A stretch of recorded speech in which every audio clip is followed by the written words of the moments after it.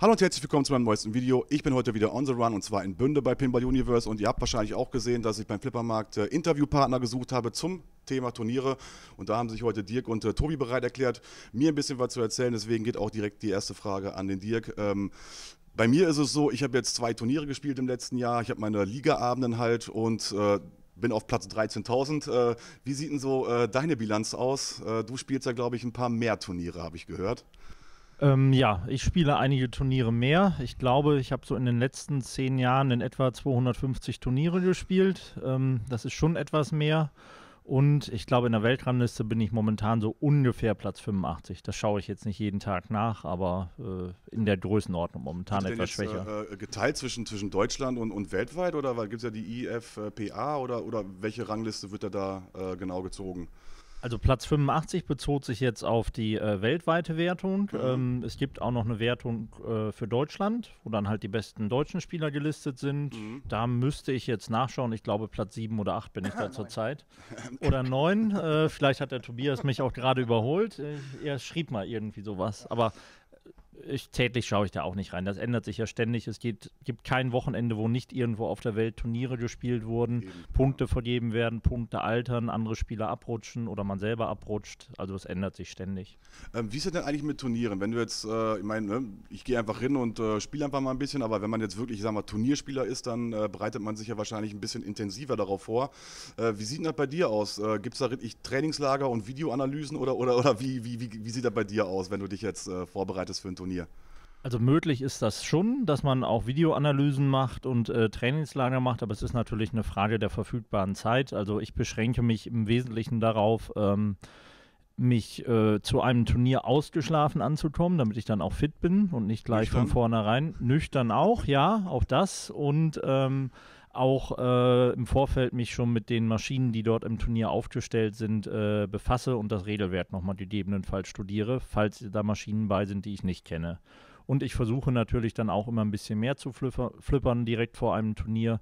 Ähm, ist immer eine Frage der Zeit. Also, Muss ja auch immer heißt so. wirklich du, also wenn jetzt wirklich, sag ich mal, am Samstag ein Turnier ist, dass du dann in der Woche davor dann auch wirklich äh, intensivst nochmal die ganzen Geräte abflipperst und dann auch wirklich mehr spielst, als du sonst spielst. Aber wenn man jetzt so viele Turniere macht wie du, dann äh, ist man ja permanent am Spielen, glaube ich, kann das sein? äh, ja, das stimmt schon, die Gefahr besteht, aber ähm, meine Frau bremst mich dann auch ein, wenn es zu viel wird. Ich würde sagen, die Frage kommt am Schluss auch noch, aber äh, das ist schon mal gut, dass du das angesprochen hast. Äh, jetzt natürlich die nächste Frage geht erstmal rüber an den Tobi. Ähm, du bist ja äh, auch Turnierspieler, klar. Äh, kannst du vielleicht noch mal kurz ein paar Worte zu dir sagen und insbesondere dazu, weil du ja auch mitorganisierst einige Turniere und weil ne, so ein Turnier will ja nicht nur gespielt werden, so ein Turnier will ja auch vernünftig organisiert werden und das ist ja auch nicht unbedingt unbedingt so leicht. Äh, erzähl mal ein bisschen, äh, was, was, was da so alles passiert, was da alles läuft und wie du dann so reinpasst. Ähm, ich habe die letzten Jahre ähm, vermehrt Turniere gespielt. Das hat sich jetzt nachwuchsbedingt ein bisschen geändert. Äh, das heißt, ich spiele jetzt mehr oder weniger nur noch die Turniere, die ich auch selbst organisiere. Ähm, ich komme jetzt, ich sag mal, ich habe mal in die, in die, Statistik reingeguckt, ich komme auf 120 Turniere, die ich, die ich gespielt habe, dümpel auch irgendwo so auf Platz 60 in der Welt rum und auf Platz 6 irgendwie in Deutschland. Das ist aber, äh, wie Dirk schon sagte, alles im, im, im steten Wandel. Mein Fokus äh, geht tatsächlich jetzt mehr hin in, in Richtung Turnierorganisation. Ähm, ich unterstütze das, das, äh, die Pinball Universe Battle äh, einmal im Jahr mit, mit äh, die äh, Pinball Universe dann halt über, über Dirk ausrichtet.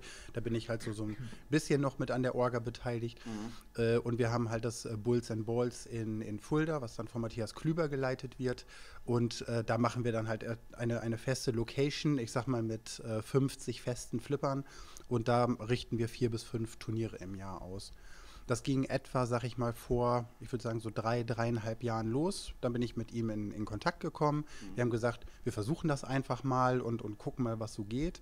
Ähm, das ist von Turnier zu Turnier wirklich besser geworden. Es, es äh, schleichen sich Automatismen ein, äh, das, das Team wird halt immer besser aufeinander abgestimmt. Ähm, ich sag mal, das Störfeuer wird halt immer weniger. Mhm. Und jetzt haben wir das wirklich ähm, ich kann ja sagen, in zwei Wochen, jetzt läuft ja gerade die Weltmeisterschaft und in, in zwei Wochen richten wir die, äh, die Pinball Olympics aus.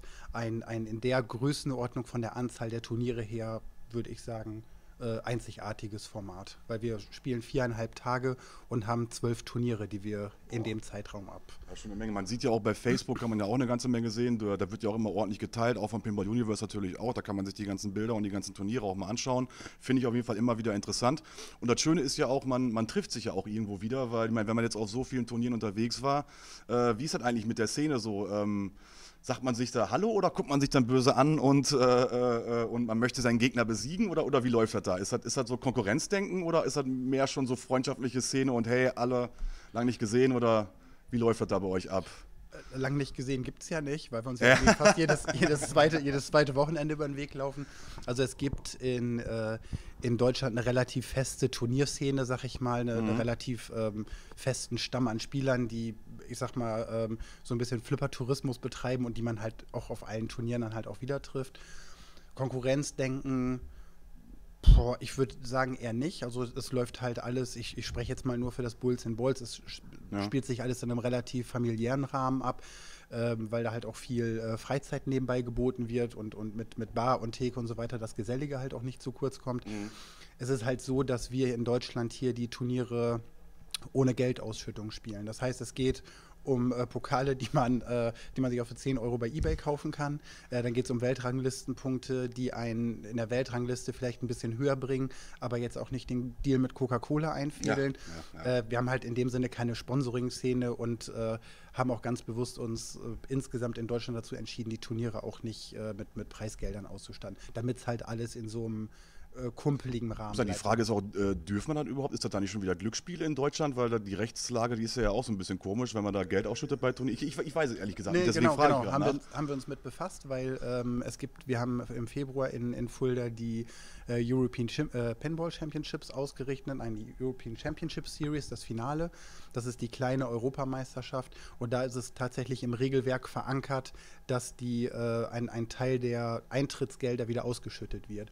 Und unter dem Aspekt, so läuft es ja auch bei jedem Doppelkopfturnier, bei jedem Skatturnier, ja, ja. äh, dass äh, die, die äh, Eintrittsgelder wieder ausgeschüttet werden, das ist tatsächlich in Ordnung. Man so. muss es anmelden, okay. ähm, aber das ist in der Regel ist das kein Problem. Also in, in den Glücksspielfaktor oder in, ein, ein, äh, in eine andere Dimension geht es halt, wenn man, ich sag mal, 20 Euro Eintritt nimmt und irgendwie 10.000 Euro ausloggt. Ja, okay, dann das geht das halt in eine, aber wir ähm, haben es ganz bewusst weggelassen, aber es ist durchaus, es ist möglich. Ja. Auch so ist ja auch nicht schlecht. Ich meine, jetzt, wenn man guckt, jetzt, jetzt die Weltmeisterschaft in Amerika, da kriegt man ja einen Flipper geschenkt, dann kriegt man hier von eBay noch irgendeinen fetten Gutschein, hast du nicht gesehen. Und da möchte ich auch mal fragen, äh, äh, einer von euch war doch bei der Weltmeisterschaft, das war Dirk, richtig? Äh, und da wollte ich mal fragen, so, ähm, als du gespielt hast und irgendwann gemerkt hast, okay, ich, ich bin ja gar nicht so schlecht, äh, kannst du dich noch irgendwie an den Moment erinnern, wo du gesagt hast, boah, ich, ich möchte jetzt nicht nur zwei, drei Turniere im Jahr spielen, sondern ich möchte jetzt, ich möchte wirklich zur Weltmeisterschaft. War das wirklich so ein Gedanke, der irgendwann gekommen ist oder so? Oder wie, wie? Ja, im Prinzip war es so. Also ich habe selber mal geschaut, ich habe ähm, schon als Jugendlicher viel geflippert, habe dann irgendwann mal mehrere Jahre pausiert und habe dann 2008 wieder angefangen, Turniere zu spielen. In Wuppertal im Strandcafé war das erste ja, Turnier, ja, wo ich dann auch im Finale dann stand, völlig überraschend für mich selbst und auch gut gespielt habe. Und dann habe ich noch so zwei, drei Jahre so ein bisschen Turniere gespielt, die Leute kennengelernt, die Szene kennengelernt, die Location, die Flipper kennengelernt und habe gesagt, das ist was für mich. Mhm. Und habe dann wahrscheinlich irgendwie so 2012, 2013 für mich entschieden zu sagen, ja, das ist ein Hobby, was ich jetzt fokussiere wo ich mehr Zeit drauf verwenden möchte und äh, habe dann angefangen, intensiver Turniere zu spielen. Bin dann auch viel rumgereist, nicht nur in Deutschland, sondern auch noch in Nachbarländer gefahren, nach Holland, nach Belgien, nach Dänemark, Schweiz. Ja. Ähm, und habe auch dort an Turnieren teilgenommen. Natürlich mit dem Ziel, möglichst viele Weltranglistenpunkte zu sammeln, um sich damit dann für die Weltmeisterschaft zu qualifizieren. Und dann, die findet dann auch in Las Vegas in, in Amerika statt oder wo war die jetzt das letzte Mal? Oder wo warst du, frage ich mal andersrum. Ähm, ich war einmal in Schweden und einmal in Dänemark bei den Weltmeisterschaften. Da hatte ich mich qualifiziert. Äh, letztes Jahr in Vancouver war ich qualifiziert, bin habe aber nicht teilgenommen. Das ist mir ein bisschen zu ein bisschen weit, weit, gewesen, sage ich jetzt mal. Ähm, die Weltmeisterschaft findet einmal äh, in Amerika statt und das Jahr darauf wieder in Europa und das wechselt dann immer. Das heißt, wir haben alle zwei Jahre die Weltmeisterschaft in Europa. Ähm, zurzeit findet sie jetzt gerade in Italien statt, am kommenden Wochenende. Ähm, und ähm, danach dann wieder in den USA, bevor sie dann wieder nach Europa rübergeht. Und ähm, man muss sich schon sehr, sehr anstrengen, um sich dafür zu qualifizieren. Mhm. Die Teilnahme geht über Weltranglistenpunkte oder über Länderplätze. Das heißt, es gibt irgendwie, ich glaube, 15, 16, 17, 18 Länder, wo die zwei Leute entsenden dürften, ihre stärksten Spieler, und dann wird mhm. das restliche Feld mit äh, den stärksten Teilnehmern der Weltrangliste aufgefüllt. Also auch zum Thema Organisation nochmal, äh, Tobi, an dich die Frage. Ähm, äh, wie kann ich mich denn jetzt, sag ich mal, als Deutschland dafür bewerben, dass wir jetzt Austragungsort der WM werden? Ist das jetzt eine Sache, die gelost wird oder wird das einfach reihum gemacht oder, oder wie, wie wird das entschieden, dass man jetzt sagt, in zwei Jahren ist sie in Deutschland oder ist das Zufall? In zwei Jahren ist sie in Deutschland uh. tatsächlich. Uh. Also ähm, ähm, ich bin ja neben, also neben der Turnierorganisation mache ich noch, äh, das ganze Ding schimpft sich Country Director. Das oh, heißt, ja. ähm, ich bin quasi das Bindeglied zwischen der deutschen Flipper-Community und der äh, International Flipper Pinball Association in Amerika. Mhm. Ähm, mache dann halt auch so Regelwerkübersetzungen und, und wenn die Anpassungen machen, dann kommuniziere ich das entsprechend, mache so Turnieranmeldungen und so mhm. weiter. Und wir haben halt mit allen äh, Country-Direktoren, der in, in weltweit, haben wir eine, eine interne Gruppe und da kann man sich halt für solche Geschichten bewerben bewerben. Also unter anderem auch jetzt für die, für die kleine Europameisterschaft. Mhm. Da stellt man ganz kurz vor, was hat man für eine Location, was kann man leisten, wie viele Spieler kann man aufnehmen. Äh, da wird das entsprechend diskutiert und geschaut, ob es Mitbewerber gibt und dann wird das halt letztendlich entschieden. Achso, also es wird gemeinsam entschieden, also es wird jetzt genau. nicht einfach nur hier, dass Franz Beckenbauer kommt und dann da hier Spokesman ist und plötzlich dann hier äh, Geld ohne Ende reingepumpt wird, also das wird dann fair entschieden. Es, es wird fair entschieden, es ist aber auch nicht so, dass sich für die großen Veranstaltungen, dass sich die, ähm, die Länder darum kloppen. Also eine ich sag mal, die, die Turniere, die wir in Fulda machen, das läuft halt, ähm, ich sag mal, mit relativ geringer Manpower. Wir haben, ich sag mal, so ein, zwei Techniker da rumtouren. Wir haben, äh, äh, wir haben das Catering-Team, wir haben die Menschen hinter der Theke, wir haben so ein, zwei Organisatoren und dann halt Turnierleitung und Schiedsrichter. Mhm. Ich sag mal, da kommen wir alles in allem, kommen wir da irgendwie mit ich sag mal, sechs bis zehn Mann aus. So, die müssen natürlich alle funktionieren. Mhm. Äh, das muss alles, äh, ich sag mal, Hand in Hand gehen. Die, mit, die, die Turnierspieler müssen entsprechend mithelfen, dass es dann nicht alles in einem großen Tohuwabu endet. Mhm. Ähm, aber wenn du halt sowas wie die, wie die Weltmeisterschaft ausrichtest oder die große Europameisterschaft, die mit 300, 400 Spielern da gespielt wird, dann brauchst du einfach einen, einen riesen Bulk an Menschen, ja, die, die damit unterstützen. Und äh, da, da, es kloppt sich da keiner. Also danach ist, wenn man mit so einem Turnier durch ist, ist nicht die Entscheidung, ob man sich davon Porsche oder ein Jaguar holt. Es geht unfassbar viel Zeit dafür flöten ja, und äh, man kriegt, glaube ich, nicht mal seine, seine, seine Kosten irgendwo gedeckt oder wenn dann gerade. Mhm. So und von daher sind immer ähm, alle Flipperspieler froh und, und alle Organisatoren froh, wenn irgendein Land aus der Torte gehüpft kommt und sagt, so, wir haben, wir haben die Technik, wir haben die Leute, ja. wir würden es gerne machen. Das hat, ich habe es bisher noch nicht miterlebt, dass jemand gesagt hat, nee, äh, ich würde es dann aber lieber machen. Ja. Und es gab da bisher noch keinen. Es ist ja auch gut so, dass er sich irgendwie da, Gott weiß, was da hin und her geschoben wird, dass man sich da, wie gesagt, vernünftig drunter unterhält und dann auch alles organisatorisch über die Bühne kriegt genau. gemeinsam. Das genau. ist auch nicht schlecht. Jetzt mal eine Frage so, äh, das ist auch eine Frage für euch beide. Ähm, wenn ich jetzt als Spieler, sage ich mal, ähm, mich jetzt auch dafür so stark interessiere, dass ich sage, ich möchte jetzt auch mehrere Turniere machen, Habt ihr einfach mal so, so, so, so einen Tipp auf Lager, sag ich mal, jetzt als Profispieler, ihr beiden, was man jetzt, was man, was man jetzt jemandem wie mir, sag ich mal zum Beispiel, weil ich bin ja jetzt auch nur semi-professionell, sag ich mal, äh, was kann man, äh, wie kann ich besser werden? Abgesehen davon, dass ich jetzt äh, mir vielleicht Videos im Internet anschaue oder so. Ähm, habt ihr da irgendwie mal so spontan? Ja. Ja? ja. Schießt dahin, wo es leuchtet, weil das höre ich öfter. Ja, ja. Nee, ja, ja, ja, genau. Also ich sag mal, die, die, die, die Anfängertipps, die Google im Spiel halten, nicht beide Flipperfinger gleichzeitig ja, drücken und so weiter.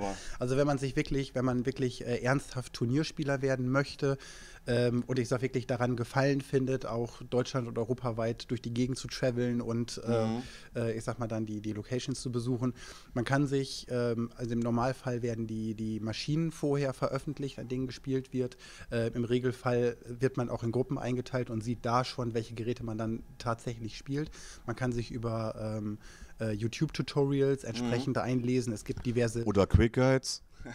es gibt auch, es gibt auch Quick, Quick Guides, genau. Okay. Ähm, genau, und äh, das, das kann man halt, es gibt Internetseiten, da findet man zu jedem Flipper die fünf besten Tipps, mhm, wo man mhm. im Turnier am schnellsten äh, Punkte holt. Äh, und dann geht es halt ans Üben, Üben, Üben. Also ähm, das Ballgefühl muss man sich halt erarbeiten. Mhm. So jeder Flipper ist, spielt sich grundsätzlich völlig unterschiedlich und auch wenn man den Attack from Mars zu Hause stehen hat, ja. spielt sich der auf dem Turnier Immer. grundsätzlich vollkommen Immer. unterschiedlich. Hat der Kollege so. auch gesagt. Das ist, wenn, du, wenn du zehn Geräte nebeneinander stehen hast, die spielen sich alle unterschiedlich, obwohl genau. der, der Attack from Mars ist. Obwohl, genau. Und das Schlimmste ist, wenn du den zu Hause hast, spielst du nämlich immer beschissener, wenn du auf dem Turnier damit bist. Immer, also das ist natürlich. unfassbar, weil du halt einfach äh, anders gewohnt bist von zu Hause. Ne? Ja. Das ist schon Wahnsinn. Ähm, ich will noch mal kurz einmal. Dirk möchte ergänzen. Achso, Dirk, ja, genau, wollte sagen, Dirk hat da gerade schon ein paar Tipps gegeben, aber ich würde mir gerne noch mal ein paar mehr anhören, weil äh, ne, WM-Spieler haben wir ja auch nicht so viele hier in Deutschland. Deswegen, äh, was, was sind denn deine Tipps für, für den Anfänger, der jetzt sagt, ich möchte auch Ähm, geben bei dem? Ja, die Tipps für den Anfänger ähm, sind eigentlich natürlich üben, üben, üben, aber nicht zu Hause an dem Gerät, was man sozusagen auf äh, Wohnzimmereinstellung hat und sehr freundlich stehen hat, wo die Outlane-Posts so weit runtergeschraubt sind, dass eigentlich keine Kugel links und rechts nicht mehr weggehen kann. Man muss immer bedenken, wenn man sich jetzt irgendwie Videos von Turnieren anschaut oder so, die Geräte sind da knallhart eingestellt. Das heißt, die Outlanes sind weit geöffnet, ähm, die Tiltpendel sind scharf gestellt und äh, zum Beispiel sind dann auch irgendwie das Erreichen der Multibälle ist schwerer eingestellt. Klassisches Beispiel wäre so ein Spider-Man, wo man dann nicht mal einmal ans Lock-Target spielen muss, sondern zweimal, damit das Lock angeht oder so. Das heißt, man muss sich auch gedanklich darauf einlassen, dass man im Turnier Geräte findet, die härter eingestellt sind. Um das zu üben, ist es natürlich auch eine gute Variante, äh, sich selbst Geräte entsprechend auf Turniereinstellungen zu betreiben und zu üben. Denn das verhält sich dann ganz anders. Und dann ist man auf dem Turnier nicht gefrustet, wenn man nur 10% seiner Punkte macht, die man vielleicht zu Hause erreicht. Weil es ist absolut nicht vergleichbar. Des Weiteren gibt es natürlich die Möglichkeit, irgendwie ähm, nochmal mit Freunden zusammen zu flippern. Ähm, ich denke, Tobias und ich werden heute Abend auch noch ein bisschen trainieren, wenn er mitspielen sollte, wenn er sich traut.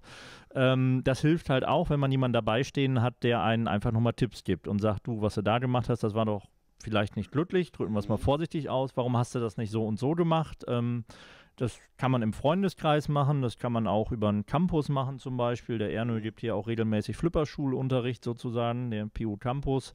Ähm, das wird auch sehr gut angenommen und dadurch verbessert man sich auch. Wenn man einfach nochmal ein Spiegel vorgehalten bekommt und direkt gesagt bekommt, so und so machst du es, aber es ist ein bisschen unglücklich, mach's doch mal anders, probier's doch mal anders. Ja. Nicht verkehrt, ich spiele auch immer. Wenn ich jetzt gegen jemanden spiele, dann spiele ich automatisch besser, als wenn ich jetzt alleine davor stehe und irgendwie alleine streame oder so und dann alleine eine Stunde spiele. Ich hole definitiv bessere Punkte, wenn jemand daneben steht. Also das ist äh, ne, nur zu empfehlen, immer gemeinsam spielen, macht auch eh mehr Spaß, als wenn man jetzt die ganze Zeit alleine im Keller hockt. Das ist auf jeden Fall witzig. Ich hätte jetzt noch eine Frage zum Turnier. Ähm, und zwar, genau, ja, genau, gib mir das Mikrofon, pass das Mic, pass das Mic. Äh, und zwar zum Turnier. Ich meine, wir haben ja jetzt in den letzten äh, 15 Jahren hat sich ja eine ganze Menge getan. Ich habe jetzt auch mit anderen Leuten schon gesprochen und die haben ja auch gesagt, früher sind wir mit einem Block rumgelaufen, mit einem Stiftchen. Und äh, bis dann irgendwann mal herausgefunden wurde, wer überhaupt gewonnen hat, hat das ein bisschen gedauert. Mittlerweile drückt man hier bei so einem Monitor einmal kurz Klick, Klick, die nächste Runde ist ausgelost, die nächsten Geräte sind da. Da hat sich ja technisch, auch übertragungstechnisch mit den ganzen Twitch und YouTube, dass man die Sachen jetzt alle live verfolgen kann, da hat sich ja technisch eine ganze Menge getan. Äh, kannst du vielleicht noch mal eben kurz so, eine, so einen, kurz sagen, wie siehst du die ganze Szene noch so bis dahin entwickelt hat und was noch in Zukunft kommt oder was uns in Zukunft noch erwartet? Kann ich, aber nicht kurz. Okay, nee, Ähm, hol ruhig aus, wir haben Okay, Zeit. ähm, gut, bis der Film voll ist. Nee, nee, alles gut, das sind So. Karten, das ist perfekt. Mach Genau. ruhig. Also vom, vom Grundprinzip allen Übels, also ich spiele seit 2011 Turniere und ähm, angefangen hat das Ganze in Lemgo bei den Electric Friends und äh, früher, äh, und ich kann, ich werd fast, bin bald 40, ich kann früher sagen, ähm, ist es so, du bist äh, zu einem Wochenende gefahren, hast da ein Turnier gespielt, egal von wo du angereist bist, hast ein Turnier gespielt, bist entweder früh rausgeflogen äh, oder bist eine Runde weitergekommen und bist dann wieder nach Hause gejuckelt.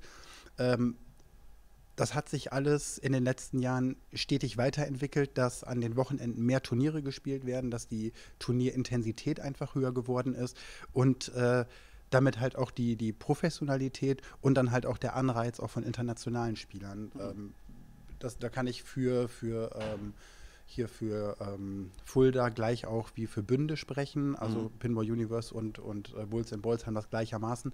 Wir ziehen halt durch die, äh, durch die Turniersysteme ganz viele internationale Spieler an. Weil, und da habe ich mit, mit äh, Albert aus den Niederlanden halt auch mal lang und schmutzig drüber gesprochen, der sagte, wenn ich äh, losziehe in, in, und gehe in, in den Niederlanden auf ein Turnier, spiele ich ein, zwei Turniere, dann ist das Wochenende für mich gegessen.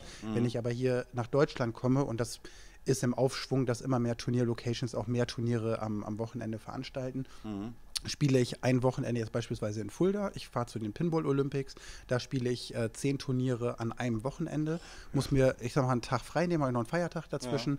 Ja. Ähm, habe aber das gleiche Resultat, als wenn ich zu sechs, sieben Wochenenden äh, im Jahr zu verschiedenen Locations hinfahre. So und geändert hat sich im Endeffekt, äh, dass das ganze Forum ist, ist professioneller geworden. Das ganze Anmeldeprozedere ist äh, viel, viel fortschrittlicher geworden. Wir mhm. haben viel bessere Turniersoftware, obwohl wir da noch meilenweit hinter den Skandinaviern hinterherhängen. Wir haben jetzt diese Software Matchplay. Ja, Damit genau. können wir ganz, ganz viele diverse Turnierformate abbilden, ganz schnell auslosen, Geräte zulosen, Runden neu auswählen, ja, ja. Turnierformate ähm, äh, äh, ähm, äh, generieren, äh, Endrunden erstellen. Das ist alles wesentlich komfortabler, als dass es das früher noch irgendwie mit Pen and Paper war. ähm, es hat sich halt auch ganz, ganz viel getan der, an der Nachfrage. Also wir haben, ähm, während früher die Turniere, sag ich mal, mehr oder weniger schon gut besucht waren, aber das halt auch alles, ich sag mal, gedauert, war, gedauert hat, äh, bis der Anmeldeprozess durch war, mhm. haben wir jetzt hier in den äh, Turnieren in Deutschland allen nach dem First Come, First Serve Prinzip, äh, mhm. wir machen die Anmeldung auf und es schießen die Anmeldung rein. Wir haben jetzt als, als, als Beispiel für die Pinball Olympics 110 äh, Spieler. Davon haben wir 30 äh, Plätze an die besten Spieler in Europa, so nach diesem Weltmeisterschaftsprinzip ja, ja. ausgelost. Und wir waren, wir haben die äh, Registration geöffnet und waren nach 50 Sekunden voll. Ach, Quatsch. nach 50 Sekunden. Ich habe tatsächlich Beschwerden gekriegt von Spielern, die auf der F5-Taste irgendwie gesessen haben. Die Mails war vorbereitet und der hat das nicht richtig aktualisiert. Ach, und die sind dann auf der Warteliste gelandet, weil sie es innerhalb von 50 Sekunden nicht geschafft haben. So nach drei Minuten hatten wir eine Warteliste von 50 Spielern und das haben alle durch die Bank weg bezahlt. Und es also und das geht halt in, in, in verschiedensten Turnieren hier in Deutschland so. Ne? Die, ist gut für die Organisatoren, die wissen dann gleich, der Bums ist voll. Ja. So, wir können äh, mit einer festen Anzahl von Spielern rechnen. Und ähm, das ist, das hat alles eine, also ist es gut für, für die Flipper-Spieler, mhm. weil man prinzipiell fast jedes Wochenende, ich sag mal, in Deutschland oder in dem näheren ähm, EU-Ausland mhm. äh, flippern gehen kann und auf einem, einem sehr guten Niveau, sag ich mal. Mhm. Äh, es ist bisschen krude für die, für die Organisatoren, weil wir uns jetzt schon in der Mitte des Jahres um die Plätze im nächsten Jahr kloppen. Also wir sind im, im Hintergrund schon bemüht ja. zu sagen, so pass auf, äh, wir richten die deutschen Meisterschaften äh, nächstes Jahr irgendwie, was weiß ich, im Mai aus. Guck mal, dass ihr das nicht zeitgleich macht, dass wir uns nicht gegenseitig die Turnierspieler wegnehmen mhm. oder mit einer Woche davor und danach. Und das wird halt immer enger. Also im, im Oktober haben wir es beispielsweise, dass wir das Mitsommerturnier in Fulda ausrichten, auch wieder vier Tage, zehn Turniere. Mhm. Gleichzeitig sind die Belgien Open Pinball, also die belgischen Pinball-Meisterschaften. Eine Woche später sind die großen ähm, Europameisterschaften in Kopenhagen. So, also Jetzt für die Turnierspieler ist das Programm, ja. ein strammes Programm, genau. Mhm. Jetzt hast du natürlich gerade gesagt, oder ihr beide habt erzählt, ist natürlich, man fährt dahin, man fährt hier, man hat da wieder vier Tage, man hat da wieder ein Wochenende, dann ist da wieder ein Dings. Jetzt habe ich ja gesehen bei Facebook, du bist ja auch verheiratet, du hast ja auch äh, Nachwuchs bekommen, hast ja auch gerade gesagt, dass du ein bisschen äh, kürzer treten musst. Wie kommt so ein Hobby dann eigentlich zu Hause an, wenn man jetzt wirklich, sag ich mal, äh, so oft wie ihr beiden dann unterwegs seid? Ist das da das hm? live ausgestrahlt wird, irgendwann beziehungsweise aufgezeichnet ausgestrahlt wird, werde ich jetzt so die halbe Wahrheit sagen, also, um, um, den Stress daheim zu vermeiden. Nein, also äh, grundsätzlich, ich habe, äh, ich hole auch ein bisschen weiter aus, ich habe mir vor neun Jahren den ersten oder vor acht Jahren den ersten Flipper gekauft. Meine Frau, damals Freundin, hat gesagt, das ist Spinnerei und nach einem halben Jahr hat sich der ganze Käse eh erledigt. Mhm. Sie hat definitiv nicht damit gerechnet, dass es so eine Passion wird. Auf der einen Seite sagt sie, äh, es geht natürlich viel Zeit bei Flöten. Ähm, das ist halt natürlich auch alles Familienzeit, die ich dann halt nicht zu Hause bin. Das ist aber auch alles vor äh, meiner Tochter gewesen. Mhm. Äh, sie sagt aber auch, dass sie es absolut bewundernswert findet, dass man für etwas so eine Leidenschaft entwickeln kann. Und sie verfolgt das natürlich ganz intensiv, äh, die Turniervorbereitung zu Hause, wenn ich da irgendwie nachts um zwei schwitze und, und irgendwelche äh, Anmeldeprozedere da irgendwie in, in mhm. Gang bringe und, und abarbeite. Und sie findet das sehr, sehr bewundernswert. Andersrum habe ich für mich auch gesagt, meine Tochter ist jetzt anderthalb. Ähm, ich sage es jetzt mal so, wie es ist. Ich habe die Wahl, das Wochenende mit 50-jährigen, dickbäuchigen Menschen an Holzkisten mit Elektronik zu verbringen. Das wird bitte nicht geschnitten. Oder äh, das Wochenende mit meiner Tochter zu verbringen. Und da war für mich einfach der Entschluss, dass ich gesagt habe, äh, wenn die Lüde ein bisschen älter ist, vielleicht kommt ja auch noch mal ein zweites dazu. Ja. Ich spiele jetzt erstmal erstmal nur noch die Turniere, die ich selbst ausrichte, plus mhm. vielleicht die deutsche Meisterschaft und natürlich hier die PU-Battle. Ähm, aber ansonsten hat sich das erledigt, weil ich halt auch rundherum sonst halt viel mache. Ich sagen, dir, gleiche Frage auch, auch an dich, weil ja, ich meine, das ist halt sehr viel und Familie, ne? wenn die halt nicht mitspielt, dann wird es halt ein bisschen schwieriger. Wie sieht es bei dir aus? Ähm, ja, äh, ich frage mich natürlich auch immer, welche Turniere besuche ich, welche besuche ich nicht. Ähm, während ich früher auch mal ein Turnier oder Turniere in der Schweiz gespielt habe, wo natürlich der Anreiseweg, die Anreisezeit äh, sehr, sehr groß ist, habe ich das mittlerweile stark eingeschränkt. Ich sage mal, mein Turnierradius ist für normale Turniere, sage ich mal, wenn es nicht gerade Europameisterschaft oder Weltmeisterschaft ist, so Umkreis 350 Kilometer von meinem Wohnort, sodass man da auch noch vernünftig an- und abreisen kann und nicht zu viel Zeit damit verbringt. Ähm, das ist natürlich eine Sache, wie man das ein bisschen limitieren kann. Ähm, das andere ist, ähm, ich habe mich halt auf dieses Hobby fokussiert. Ähm, andere in unserem Alter fliegen vielleicht für ein Fußballspiel nach Madrid oder Barcelona und schauen sich dort irgendwie ein Champions League-Spiel an. Das mache ich jetzt nicht, da habe ich kein Interesse. Wiederum andere reisen irgendwie einer Band hinterher und gehen auf Festivals und zu Konzerten. Das habe ich halt auch nicht. Und äh, ich habe jetzt gesagt, Flippern ist jetzt mein Fokus und das mache ich und ähm, äh, erhalte da aber auch Unterstützung von meiner Frau und äh, bin da auch dankbar ähm, und manchmal trete ich dann auch ein bisschen dann kürzer, wenn sie mit den Augen rollt. Das will ich auf jeden Fall auch nochmal, also da möchte ich mich an der Stelle auch nochmal bei meiner Frau bedanken und bei meiner Familie, wenn wir schon mal gerade dabei sind, ne, weil ohne Witz, weil wenn wir äh, ne, den äh, Rückenwind nicht hätten von unserer Familie, dann äh, könnte ich nicht rumfahren, könnte keine Interviews machen, könnte keine Quick Guides drehen, ihr könntet nicht organisieren oder mitspielen und äh, da kann man einfach nur sagen, dann würden einfach ein paar Leute in der Flipper-Szene fehlen und dafür kann man einfach nur nochmal Dankeschön sagen an unsere Familien. Ich möchte mich auch abschließend bei euch beiden bedanken, dass ihr euch die Zeit genommen habt und auf jeden Fall noch ein bisschen was äh, äh, mir erzählt habt, was ich auch noch nicht wusste. Ist auch eine schöne Sache. Natürlich auch bei Pinball Universe bedanken, dass wir hier die Räumlichkeiten nutzen dürfen. Ist immer wieder schön, hier hinzukommen und äh, abschließend natürlich möchte ich mich bei euch fürs Zuschauen bedanken und ich würde sagen, wir sehen uns beim nächsten Mal.